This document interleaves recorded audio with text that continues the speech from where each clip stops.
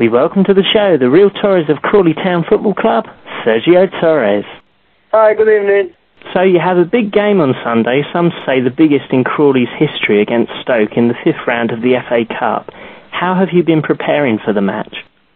Uh, well, to be fair, we, we had a game last night, and uh, well, after after that game, we, we just start thinking on the FA Cup. But we very disappointed result. We lost last night, and uh, uh, you know the the league is the main the main thing for us. But now we're just uh, thinking about uh, the FA Cup, and this uh, yeah, it's one of the biggest uh, game in the history of the club. Uh, after last year, Man United away, I think was the biggest one, and this one is is going to be up there because uh, you know some people are going to are going to think that we got a chance, and I, I honestly think we we have a chance of progressing, which uh, will be amazing for the whole town, the whole uh, the whole the whole club, you know. It would be, and as you mentioned, you're at home at the Broadfield. Does this give you an advantage because of the great support you will receive? Oh, definitely, definitely. The fans been brilliant, like uh, with us the whole season, and even last year. Uh, you know, we got a really good record at home, um, and people don't, uh, clubs don't fancy coming to to the Broadfield because it's it's quite a compact ground, and our fans like are really loud and uh, some players, you know, don't like to play uh, in, in again in places like that. And for the for the Premier League boys, it's going to be like a shock playing for them uh, in in a stadium like this. The you know this is small. They they normally play against uh, probably thirty thousand people, forty thousand people, and um, uh, we we are uh, all the players are looking forward, and I'm sure the the whole town is looking forward to this game. Last season, you earned a place in Crawley Town folklore with an injury time goal which knocked Derby County out of the third round of the FA Cup. Is that your best moment for the Red Devils? Oh, definitely. Not only for Crawley. Uh, in my career, was the best best feeling I ever had on a football pitch. It was just uh, amazing when when that ball touched the net. Uh, I just I didn't know what, what to do and just took my shirt off and I started running away and you know it was uh, was no, best feeling ever. Uh, all my teammates came and the game finished and all the fans ran on the pitch. Uh, I just, I was the happiest man in the world in that moment. And yeah, like you say, I think uh, my name, they're going to remember my name for, for quite a while, the, the Crawley fans, because of, of that goal. Yeah, forever, I expect. With the Cup, that's what it's all about, isn't it? It is, it is, the FA Cup. I was watching it when, when I was living back home in Argentina uh, you know, FA Cup and all the small teams playing the big teams, and it's uh, it's amazing competition. And for for players like myself and uh, players who who've been involved a uh, long time in lower lower leagues, it's uh, it's amazing to to be able to play against uh, against Premier League teams. Uh, what, what happened to us going to Old Trafford last year was it's once in a lifetime was a dream for all of us, and you know we I will never never uh, forget that day, and it's just amazing competition. He was also very unlucky, wasn't he? I know, I know. We hit the ball uh, in the last minute. Um, in the second half, we we give a real go. Uh, the first half, we were a bit afraid of them, I think, and we let them play a bit. But in the second half, we just saw well, we got nothing to lose here, and we need to, you know, start trying to to get the equalizer. And we were close with a few shots, and but it wasn't meant to be. And uh, Man United is a great team, and but we were we were uh, we were happy with. Uh, with the how the, the day went and all the families enjoy and uh, the, the whole the whole support. We we took about 9,000, 10,000 fans, which uh, which is amazing. Yeah, fantastic support, and you really gave it your all. So you got to be. Yeah, definitely, definitely. That, that, you know, we we give hundred percent, and I remember for about two, three days after I couldn't move, I was just dead on my feet. We have some questions now for some Crawley fans. Barry East Grinstead would like to know, do you have any post-match rituals or superstitions? Yes, uh, well, I always um, put my right shin pad before my left one, my right sock before the left one, my right boot before the left one, and I always, when I go on the pitch, I just jump outside uh, of the of the line with my rifle and go on the pitch with my rifle. I don't know. I I've been doing this for Yes, right foot outside and right foot inside. You know, a little jump uh, over the line, and uh, that, I don't know. I've been doing that for for years, and and uh, yeah, I feel I feel comfortable doing it. Yeah, it's amazing how many footballers have superstitions and rituals, isn't it? Oh, definitely, definitely. There's players who have to wear the same pants the whole year, you know. Which, uh, That's yeah, a bit or, extreme. I know, or wear wear wear a shirt underneath, or I don't know, do some things, you know, different things. Which, uh, yeah, it's uh, it's crazy how it works. Christina and Crawley asks, who are you most friendly with in the team? I got really good relationship with everyone. We're, we're quite close as a as a team, but um, I'm I'm very close to Josh Simpson because I knew Josh from Peterborough, and well, we always uh, room together. And my girlfriend and his girlfriend, they they're really good friends as well, and so we we see each other after football as well. So yeah, I, w- I would say Josh. You're very settled in England, aren't you? Yeah, I've been eight years now, and well, I got I got a family. I got little little baby girl, and I'm living with my girlfriend. So yeah, we very settled. I'm very happy. Live in Brighton, which is a, it's a beautiful place. It's only 20 minutes from Crawley, and enjoy uh, walking down the down the seafront. Like, But they haven't got a bad football team either. I know.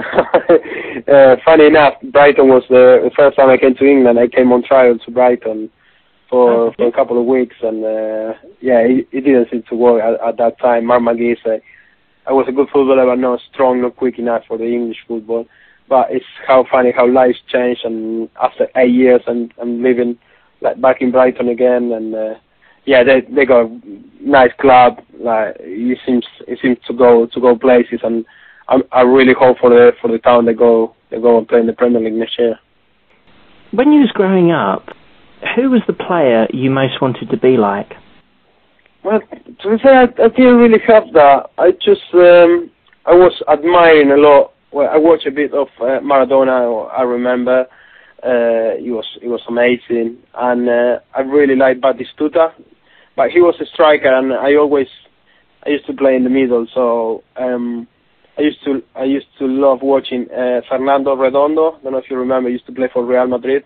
Yeah, I do. Yeah. Yeah, and uh, well, I, he was class, and I used to I used to uh, love watching him. But I, I play completely different than how he plays, you know.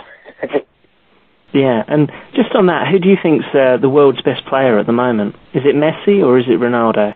well, I, I think if you ask uh, everyone, eighty percent would say Messi and twenty percent Ronaldo. But I will go with Messi. Being Argentinian as well, and uh, I just enjoy I enjoy watching Barca every game, and I think he's uh, yeah he's he does things with the ball that which no other player can do, and yeah he, he's amazing. Who's the best player you've played against? Uh, best player play against.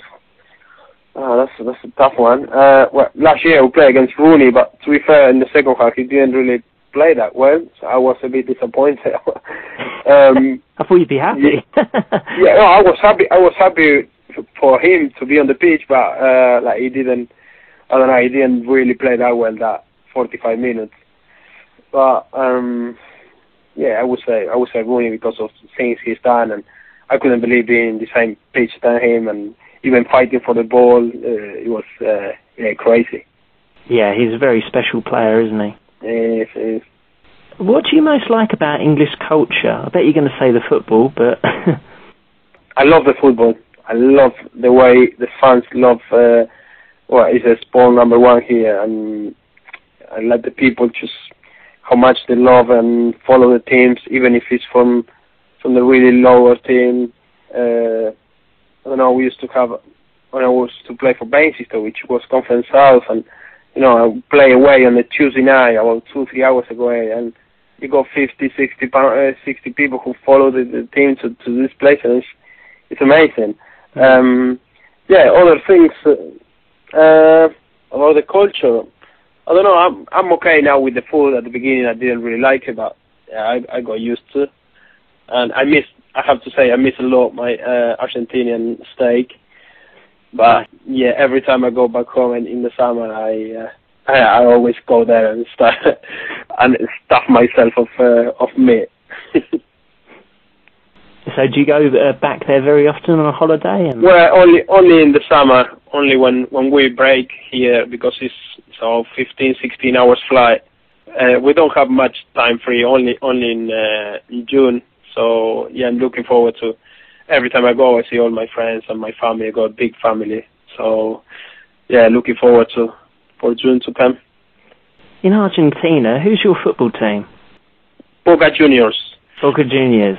Yeah, I knew you yeah. were going to say River Plate or Boca Juniors. I wasn't. No, no River Plate. No, no, no. I don't like Ah. River Plate. Since since I was little, uh, my dad follows Boca Juniors, big fan, and I used to love it. Yeah, it's uh, it's an amazing stadium. If, if you ever have a chance to go, it's just the, the experience. The don't know the fans are crazy, absolutely crazy there. What music do you like? Uh, music, I uh, I listen to everything, but um, I like uh, bands like U2. Um, I like Aerosmith as well, um, and then I listen to yeah R&B. Everything what was on the on the radio. I just put the TV on, and I'm not I'm not a big big fan like, of just any. Uh, I just listen to everything. So you like lots of different music. Yeah, I love different music. Yeah, to be fair. Is there anybody in Argentina you're keen on? Uh, there was a group called uh, well Los Piojos, uh, which I used to really like. I went to see them in concerts. It's quite a rock Argentinian rock group, and uh, yeah, but since I'm here now, um, I got the CDs and all the music from back home here. So every now and then I just put them on and remember like the the old days. Yeah. Well, that's the great thing about music, isn't it? It is, it is. it. It, yeah, it take you back in the in the time. What do you think about the whole Carlos Tevez saga? Um, it's a difficult one because uh, we we don't really know what happened, and you know a lot of people question him, and it's uh, it's difficult because now uh, the manager after the game he say he didn't want to play, but the truth is he didn't want to warm up because he was warming up for 20 minutes, and he said to the manager, if you want to put me on, I'm, I'm ready to play. I just hear this interview he's done in uh, Argentinian uh, channel about two days ago and uh, I listened to the whole interview and what he's saying. Yeah, if the manager was angry with with Dzeko because they were arguing and he got it with him. You know, he's got big personality and it's it's not easy to manage players like that. Um, I think personally I wouldn't do it, but you know, it's just how different people react to in different situations. So it's um, it's a difficult one to to to comment on something like don't really know what what what's the truth and what what really happened. No, I don't think anybody does really. If they could sort out their differences, do you think he should be in the team? Uh, well, you know, he's a great player. I I really like how how he plays and he gives hundred percent everything he's been he's been uh, give hundred percent. It's not like he's not baller and he doesn't run. He always track back if he loses the ball. I think he's a big big player for for any team. So I really hope he start playing and it's it's it's very good for the Premier League and that. Who do you think will win the Premiership? Well, it's going to be tied between uh, Man City and Man United. Um, I don't know. I hope it's Man Man City because uh, I see Man United winning quite a few times uh, over the last few years. So I like uh, I would like another team to win it. And if uh, of, from all all of the teams, I would love Spurs to win it. It's a it's a big hard, but they not they're not that far behind, and they play beautiful football and I always always uh, well, like them the way the way they play and the club. I went to watch a few games at White Hart Lane, and uh, the atmosphere there is, is amazing. And uh, I would I would love to, to to have a chance to play there. You know, maybe Carling Cup or FA Cup one day. You might get them in the next round. I know, I know, it's crazy. If you, yeah, if you, if we be Stoke on the Sunday, we well, we go more than a very good chance to to play one of the one of the big boys, and yeah, it would be amazing. Would you prefer to play away if you got through against Stoke or at home? Um, I don't know. To be fair, to be fair, I would prefer to play away at Liverpool's uh, or away at Arsenal or away at Spurs. One of one of uh, one of these three teams. Uh, yeah, you know, being away and you think that's it's going to be the only time that I'm going to have I'm going to be able to play there, like how it happened against Man United last year. No, no, we we can't speak too early because we got most most than than the hard game on on Sunday, which uh, going to be very tough. And yeah, so we we will see what happens. Yeah. Well, thanks a lot for coming on the show, Sergio. It's been great talking to you, and good luck on Sunday. We're all behind you.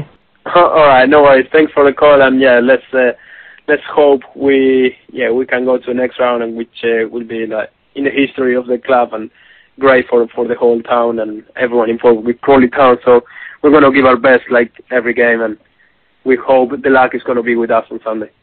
Yeah, come on, Crawley.